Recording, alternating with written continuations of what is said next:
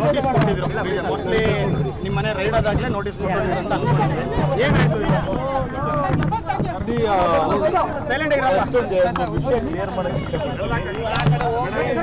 ಮಾಧ್ಯಮದವರು ನ್ಯಾಚುರಲ್ ಆಗಿ ನಮ್ಮ ಜೀವನಗಳಲ್ಲಿ ಯಾವುದೇ ಒಂದು ಘಟನೆ ನಡೆದಾಗಲೂ ನಿಮ್ಮಲ್ಲಿ ಒಂದು ಕ್ಯೂರಿಯಾಸಿಟಿ ಇರುತ್ತೆ. ಅಥವಾ ನೀವೆಲ್ಲರೂ ಅದನ್ನ ಎಲ್ರಿಗೂ ನಮಸ್ಕಾರ. ಫಸ್ಟ್ ಅರ್ಥ ಮಾಡ್ಕೊಳ್ಳಿ ಒಂದು ಇಟ್ಸ್ ಎ ನ್ಯಾಚುರಲ್ ಪ್ರೋಸೆಸ್ ಒಂದು ಡಿಪಾರ್ಟ್ಮೆಂಟಿಂದ ಒಂದು ಐ ಟಿ ರೈಡ್ ಅಂತ ಆದಮೇಲೆ ಅವರು ನಮ್ಮ ಎಲ್ಲ ರೀತಿಯ ಎಂಕ್ವೈರಿಗಳು ಮಾಡ್ತಾರೆ. ಯಾವ ಥರ ಇದೆ, ಏನು, ನಾವು ನಮ್ಮ ಖರ್ಚುಗಳೇನಿರುತ್ತೆ ಅಥವಾ ನಮ್ಮ ಇನ್ಕಮ್ ಏನಿರುತ್ತೆ, ಇದನ್ನೆಲ್ಲ ಅವರು ಬಂದು ಪ್ರಶ್ನೆ ಮಾಡ್ತಾರೆ, ಕೇಳ್ತಾರೆ, ಅದನ್ನು ನಾವು ಉತ್ತರ ಕೊಡಬೇಕು. ಇಟ್ಸ್ ಅ ಪ್ರಾಸೆಸ್ ಇದು ಇವತ್ತಲ್ಲ, ಇನ್ನೂ ಎರಡು ವರ್ಷ ನಡೆಯುವಂಥ ಪ್ರಾಸೆಸ್ ಇದನ್ನು ಮೆಂಟಲಿ ಪ್ರಿಪೇರ್ ಆಗಬೇಕು. ಒಂದು, ಅದನ್ನು ಅವರೇ ನಮ್ಗೆ ಹೇಳಿರುವಂಥದ್ದು ಅದರ ಮೇಲೆ ನಾನು ಕೆಲವು ಮಾಧ್ಯಮದಲ್ಲಿ ಎಲ್ಲ ನೋಡ್ತಾ ಇದ್ದೆ ನೀವೆಲ್ಲರೂ ಏನಿದೆ ಅದನ್ನು ತೋರಿಸ್ತಾ ಇದ್ದೀರಾ. ಸ್ಪೆಷಲಿ ಒಬ್ಬರು ಮಾಧ್ಯಮದವರು ಭಾಳ ಅದ್ಭುತವಾಗಿ ತೋರಿಸ್ತಾ ಇದ್ದಾರೆ. ಅದರಲ್ಲಿ ಹೇಳಿರೋ ಪ್ರಕಾರ ನಾನು ಅಟೆಂಡ್ ಮಾಡಬೇಕಾಗಿತ್ತು. ನಿನ್ನೆ ಡೇಟ್ಗೆ ಅಂತೆಲ್ಲ ಸುಳ್ಳು ಮಾಹಿತಿಗಳು ಕೊಡಬಾರ್ದು. ನನಗೆ ಕೊಟ್ಟಿದ್ದೆ ಇವತ್ತಿಗೆ ಆಫೀಸರ್ ನಿನ್ನೆ ಇರಲಿಲ್ಲ.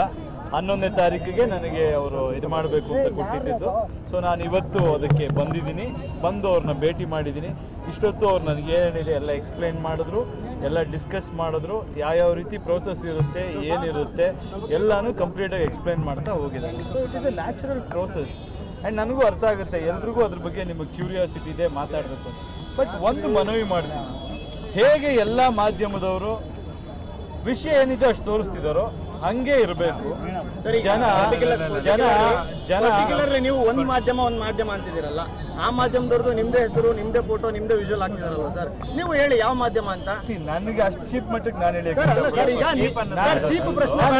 ಮೀಡಿಯಾನು ಒಂದೇ. ನಾನು ಚೀಪು, ಬೇಡ ಪ್ರಶ್ನೆ ಕೇಳೋ ಸ್ಟೈಲ್ ಅದಿರಬಾರ್ದು ಸರ್ ನಾ ಹೇಳ್ತೀನಿ ಕೇಳಿ ನಾನು ನಿನಗೆ ಉತ್ತರ ಕೊಡಬೇಕು ಅಂತ ಹೇಳಿಲ್ಲ ಆಗಿ ಪ್ರಶ್ನೆ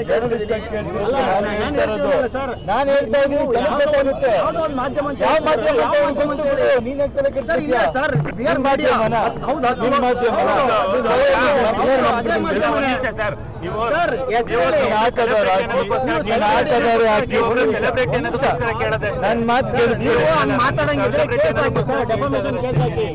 ಐನೂರು ಕೋಟಿಗೆ ಸಾವಿರ ಕೋಟಿ ಡೆಫಾಮೇಶನ್ ಕೇಸ್ ಹಾಕಿ. ಬಟ್ ಇಲ್ಲಿ ಹತ್ತು ಲೋಗೋ ಮುಂದೆ ಒಂದು ಮಾಧ್ಯಮ ಒಂದು ಮಾಧ್ಯಮ ಅಂತ ಯಾಕೆ ನಾನು ಹಂಗೆ ಮಾತಾಡ್ತೀನಿ. If you don't want to telecast ಹಾಕ್ಬಿಡಿ. ಹಿಂಗಲ್ಲ ಸರ್ ಇದು ಒಂದು ಮಾಧ್ಯಮ ಯಾವ್ದು ಲೋಗೋ ಮುಟ್ಟೇಳಿ ನಿನಗೆ ಯಾಕದು ಸರ್ ಯಾಕೆ ಅಂತಂದ್ರೆ ನಾನು ಜರ್ನಲಿಸ್ಟ್ ಎಲ್ಲ ಚಾನಲ್ ಒಂದೇ ಸರ್. ನಾನು ನಿನಗೆ ಆನ್ಸರ್ ಮಾಡಬೇಕು ಅನ್ನೋದು ಏನೂ ಇಲ್ಲ. ಬಟ್ ಯಾಕೆ ಬಂದ್ ಮಾಡ್ತಾ ಇದೀನಿ? I am respecting you sir we are respecting you simple we are also respecting ನನಗೇನು ಅವಶ್ಯಕತೆ ಇಲ್ಲ. ನಾನೇನು ಹೇಳ್ತೀನಿ? ನನ್ನ ಕೆಲಸ ಮಾಡಕ್ ನಾನು ಬಂದಿದ್ದೀನಿ. ನಾನು ಯಾಕೆ ಇರ್ಬಿಟ್ಟು ಬಂದೆ? ನೀವು ಸಾರ್ವಜನಿಕ ಸಾರ್ವಜನಿಕ ಸಾರ್ವಜನಿಕ ಬದುಕಿನಲ್ಲಿರೋ ನಾ- ನಾನು ಹೌದು, ಜನ ಕೇಳ್ತಾರೆ ಅಷ್ಟೇ, ಇನ್ನೇನಿಲ್ಲ. ಸಾರ್ವಜನಿಕ ಬದುಕಲ್ಲಿದ್ದೀನಿ ನಾನು ಏನಾದ್ರೂ ನೀವು ಕೇಳ್ತೀರಾ ನನ್ನ ಖುಷಿನೂ ನೀವು ಕೇಳ್ತೀರಾ ನನ್ನ ದುಃಖನೂ ನೀವು ಕೇಳ್ತೀರಾ ಎಲ್ಲ ನಾನು ಹಂಚ್ಕೊಳ್ತೀನಿ. ನನ್ನನ್ನ ಹಿಂಗೆ ಮಾತಾಡ್ಬೇಕು ಅಂತ ಹೇಳೋ ಅಧಿಕಾರ ಯಾರಿಗೂ ಇಲ್ಲ. ನಾನು ಹಿಂಗೆ ಮಾತಾಡ್ತೀನಿ. ನಿಮ್ಗೆ ಇಷ್ಟ ಇದ್ರೆ ಅದನ್ನ ಇದು ಮಾಡಿ ಇಲ್ಲ ನೀವು ಎಡಿಟ್ ಮಾಡ್ತೀರಲ್ಲ. ಸೂಪರ್ ಆಗಿ ಎಡಿಟ್ ಮಾಡಿ ಅರ್ಧ ಮಾತ್ರ ಒಂದು ಮಾಧ್ಯಮ ಒಂದು ಪರ್ಟಿಕ್ಯುಲರ್ ಚಾನೆಲ್ ಮಾತಾಡುತ್ತಿದೆ. ಅದನ್ನ ನಾನು ಹೇಳ್ತಾ ಇದ್ದೀನಿ. ಇದನ್ನ ನೋಡ್ತಿರೋ ಜನರಿಗೆ ಅದು ಗೊತ್ತಿರುತ್ತೆ. ಮಿಕ್ಕಿದವ್ರು ಯಾರು ತಲೆ ಕೆಡಿಸ್ಕೊಳ್ಳೋ ಅವಶ್ಯಕತೆ ಇಲ್ಲ. ಯಾರು ನೋಡ್ತಿದ್ರೆ ಅವ್ರು ಗೊತ್ತಿಲ್ಲ. ನೀವ್ಯಾಕೆ ತಲೆ ಕೆಡಿಸ್ಕೊತೀರ? ಅಲ್ಲ ಸರ್ ಅದು ಸರಿ. ನಾನು ನಾವು ಒಪ್ಕೊಂಡಿದ್ದೀವಿ ನಾವು. ನಿಮ್ಮ ಮದುವೆನೂ ಕವರ್ ಮಾಡಿದ್ದೀವಿ ಪರ್ಟಿಕ್ಯುಲರ್ ಮಾಧ್ಯಮ ಈ ವಿಷಯದಲ್ಲಿ ಊಹಾಪೋಹಗಳು ಹಬ್ಬಿಸ್ತಾ ಇದೆ. ನನಗೆ ಎಷ್ಟು ಮನೇಲಿ ಅಷ್ಟು ಕೋಟಿ ಕೇಳಿದ್ರಪ್ಪ ಯಾರಾದ್ರು? ಎಷ್ಟು ಕೋಟಿ ಸಿಕ್ತು ಎಷ್ಟು ಮನೇಲಿ ಅಂತ ಹೇಳಿದ್ರ? ಎಷ್ಟು ಎಷ್ಟು ನನಗೆ ಗೊತ್ತಿಲ್ಲ ಸರ್. ಎಷ್ಟು ಮನೇಲಿ ಅಷ್ಟು ಕೋಟಿ ಸಿಕ್ತು ಹೇಳಿದ್ರಪ್ಪ? ಯಾಕೆ ಬರ್ಬೇಕದು? ಎಷ್ಟು ಈಗ ನಿನ್ನೆ ನಿನ್ನೆ ನಿನ್ನೆ ನ್ಯೂಸು ಅಷ್ಟೇ. ಅವ್ರ ಆಡಿಟ್ರಿಗೆ ಇದಾಗಿದೆಯಂತೆ. ಪ್ಲೀಸ್ ಅಂಡರ್ಸ್ಟ್ಯಾಂಡ್ ನಾವು ಸಮಾಜದಲ್ಲಿ ಏನೇ ಮಾಡಿದ್ರು ನಿಮ್ಮ ಕಣ್ ತಪ್ಸಂತೂ ಏನೂ ಮಾಡೋಕ್ಕಾಗಲ್ಲ. ಎಲ್ರಿಗೂ ಗೊತ್ತು ನಮ್ಮ ಕೆಲಸ ನಾವು ಮಾಡ್ತಾ ಇದ್ದೀವಿ ಸಿನಿಮಾ ಮಾಡ್ತಾ ಇದ್ದೀವಿ ಒಂದು ಏಳೆಂಟು ಜನಗಳು ಸೇರಿ ಆಗಿರ್ಬೇಕಾದ್ರೆ ಪ್ರಶ್ನೆಗಳಿರುತ್ತೆ. ಅವ್ರದ್ದು ಏನು ವ್ಯವಹಾರ ಅವ್ರ ಜೊತೆ ನಿಮ್ದೇನು ವ್ಯವಹಾರ ಈ ಪಿಕ್ಚರ್ ನೀವೇನು ಮಾಡಿದ್ರಿ ಆ ಪಿಕ್ಚರ್ ಏನು ಮಾಡಿದ್ರಿ ಇಟ್ಸ್ ಅ ಪ್ರೋಸೆಸ್ ಅದನ್ನ ಅರ್ಥ ಮಾಡ್ಕೋಣ ಅದನ್ನೆಲ್ಲರೂ ಮಾಡ್ಕೊಂಡು ಹೋಗೋಣ ಗೌರವಯುತವಾಗಿ. ಇಲ್ಲಿ ಪರ್ಸ್ನಲ್ ಎಲ್ಲ ಇಟ್ಕೋಬಾರ್ದು. ನನಗೆ ಯಾರ ಪರ್ಸನಲ್ ಪರ್ಸ್ನಲ್ ಇಲ್ಲ. ನನಗೆ ಈಗ ಹಿಂಗೆಲ್ಲ ನೋಡಪ್ಪ ನನ್ಗೆ ನಂಗೆ ಗೊತ್ತಿಲ್ಲ. ನಾನು ಒಂದು ಹೇಳ್ತಾ ಇದ್ದೀನಿ. ನೀನು ಯಾವ ಚಾನಲ್ ಏನೋ ನನಗೆ ಗೊತ್ತಿಲ್ಲ. ಯಾರು ಯಾವ ಚಾನಲ್ ನನಗೆ ಗೊತ್ತಿಲ್ಲ. ಎಲ್ಲರೂ ನನ್ನ ಇವತ್ತು ನಾವೇನು ನಿಂತಿದ್ದೀವಿ ಅದಕ್ಕೆ ಅವರು ಕಾರಣ ಗೌರವಿಸಿದ್ದಾರೆ.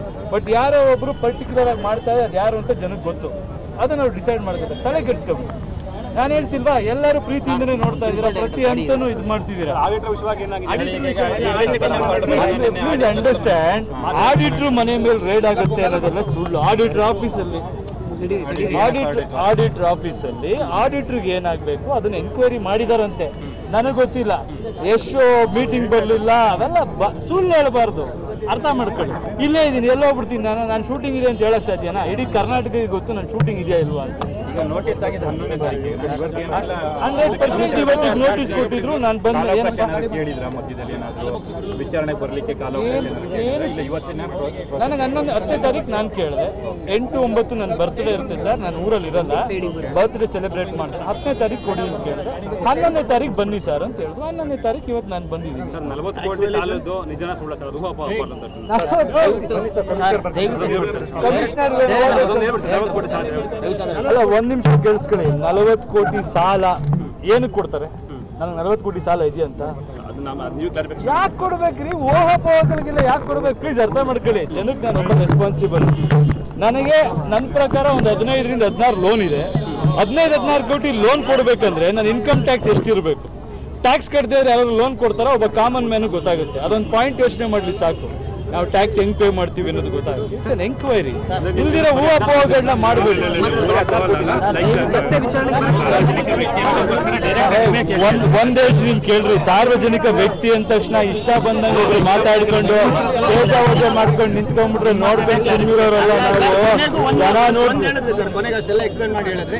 ಕೊನೆಗೂ ಒಂದು ಮಾಧ್ಯಮ ಒಂದು ಮಾಧ್ಯಮ ಒಂದು ಮಾಧ್ಯಮವಾಗಿ ಉಳಿತು ಹೆಸರು ಮಾತ್ರ ಹೆಸರು ಬರೋ ಟೈಮಲ್ಲಿ ಬರುತ್ತೆ ಬಿಡುಕಂದ